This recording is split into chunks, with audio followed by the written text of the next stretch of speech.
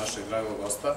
Želim da se javno zahvalim na donaciji koje je Slovačka ambasada donirala je, kao što znate, imali ste priliku to i da vidite na regionalnoj deponiji hidrometeorološku stanicu.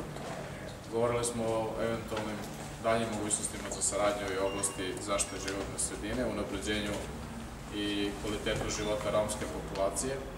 Čuli ste i uvodu da imamo podršku od strane slovačkih policajaca koji čuvaju našu granicu u sastavu međunarodne grupe OEPS-a, oni su smešteni u našem hotelu i takođe su naši dragi gosti, evo uskoro očekujemo novi, Veoma zadovoljni.